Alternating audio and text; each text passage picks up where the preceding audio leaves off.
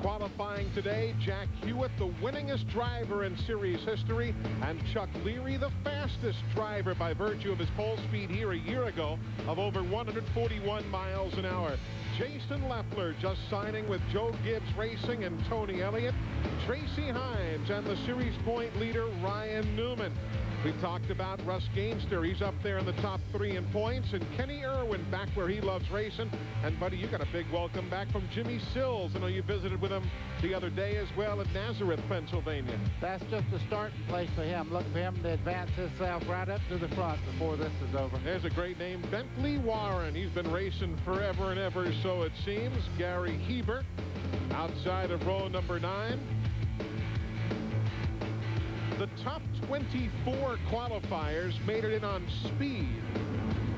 The others, the final qualifiers you see right there, getting in on the hooligan race. And J.J. Yeley, that's not his normal car. He had problems in practice earlier today. And Stevie Reeves allowing him to climb aboard the 98 because Stevie's not running for points while J.J. Yeley is. And there you see among those who were here but failed to qualify out of this race. Paulus making his name in the winged sprint cars as we get set to go racing here tonight. 80 laps at Gateway International Raceway. Wow, they're only four deep going into turn one. Didn't take them long. Now look at the racetrack. Very, very tight in turns one and two it's really kind of like for our NASCAR fans, almost like a Darlington without the banking. I talked to a lot of the drivers today. They said it's very similar to Darlington and Phoenix. Uh, you run, run the racetrack very much the same. You saw the pole sitter dropping back. That gives Chuck Leary in that maroon car the opportunity, though Jason Leffler comes charging up to the inside to try and grab a position. Yeah, and Leffler won in Nazareth, Nazareth a couple of weeks back, and you see him sliding the cars already. They're not getting a lot of grip, even though that right rear tire is 18 inches wide. They're sliding through the corners. They have to start the race on the same right rear tire with which they qualify. Not the other tires, but just that one. Basically, it's the only tire that touches the ground during much of this race. Well, when you have a 1,500-pound car and you mash down on that accelerator with 800 horsepower, something's got to spin. And the right rear on these cars is a major tire that takes the weight load as they go through the corner. You see them sliding right there like you're on or 10 laps, and we're only on lap number 15. Yeah, and you can see the draft that we were talking about earlier in the show. The two car there, Irwin, they just absolutely eating him up down the straightaway. Newman has a very good car in the corner. Wow, slide job there by Kenny Irwin Jr. base, 96 to 104 inches. Good scramble right there. As they work into the corner, Leffler is in that nine, being bypassed by Tracy Hines and then taking him right back. They pass in the corners like most race cars do down the straightaway here. Now, Jason Leffler has a car owner that everybody knows. Tony Stewart's part right. owner of that car. Putting a lap on the 54 of Keith Butler, who's out of the midgets If you're curious, the difference Midgets have 72-inch wheelbase. Sprint cars have 84. And these Light Silver Bullet Series cars, the Silver Crown cars, if you will, have anywhere from 96 to 104. I was interested to see a wide variance of choice that, uh, you know, some guys like the longer wheelbase. So you see some of the specifications. I was surprised today how many went with the minimum and how many liked the stretched 104 wheelbase. Yeah, I would think that uh, you would probably go with the longer wheelbase to have more control. They said not so. They like the 96-inch wheelbase to make it turn in the center part of the corner.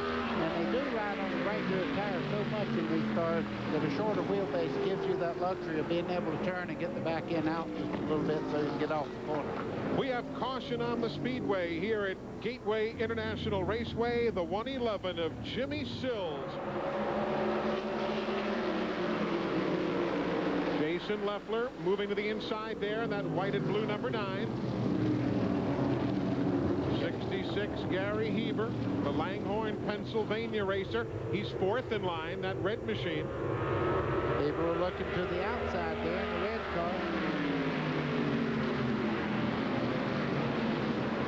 61, talked about Robbie Flock earlier. That Drinan chassis with Chevrolet power, and there goes Heber. Trying to grab the spot from Leffler in the nine. Back into turn one.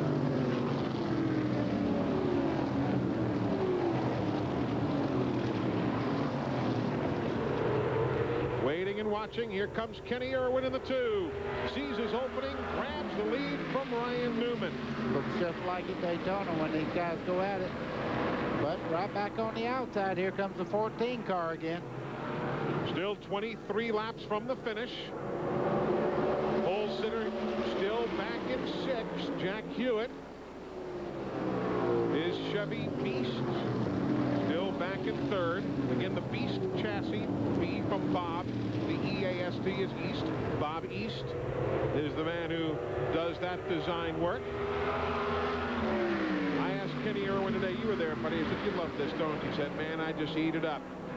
Ryan Newman still oh. trying on the outside.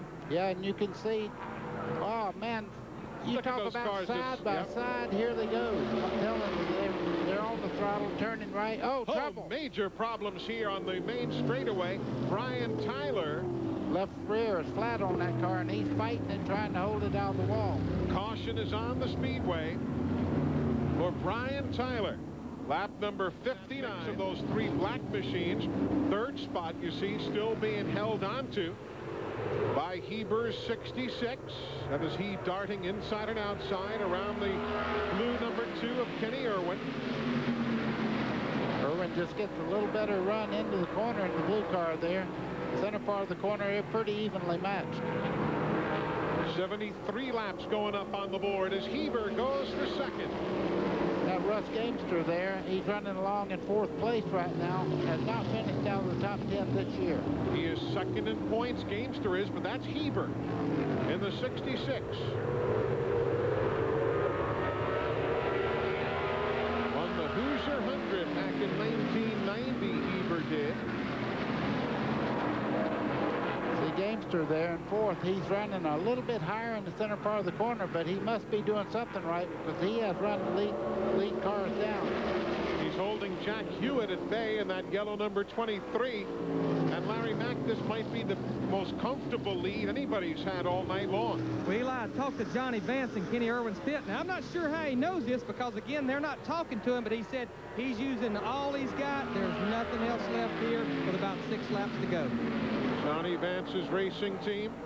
Eli, look at this fight back here. Jack Hewitt's moving up on the outside there in the yellow car. He's now all of a sudden come to the forefront. We know that he's got a fast car. He set on the pole this event. Now he's starting to move up towards the lead. winningest driver in series history, who had a third place finish at Pikes Peak earlier this season as his best run of the year. Don't know if he's going to have enough time to get to the front. Five laps to go. Took over six miles remaining. See Gamester there and and the red car just in front of our guy that sat on the pole there. I tell you, right now he's making the, they say do it, Jack Hewitt. He is doing it right now, running very, very well. And again, that black 37, that's Tracy Hines. Oh, and look at sideways. slide it through the corner. Hines inside of Hewitt with five laps to go, battling for fifth and sixth and seventh.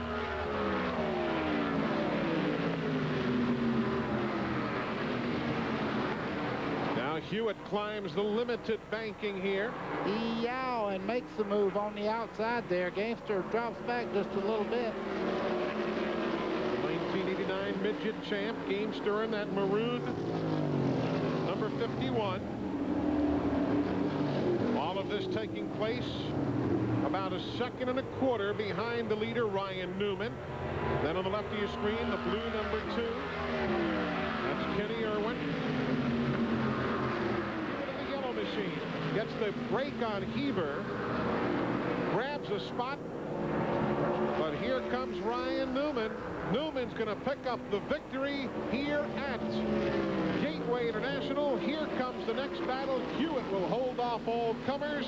But yes, Ryan Newman, who was fifth in Orlando, second in Phoenix, the winner at IRP, finished fourth at Indianapolis's mile and second at Pikes Peak. Larry Mackey's won it again. Well, I'm here with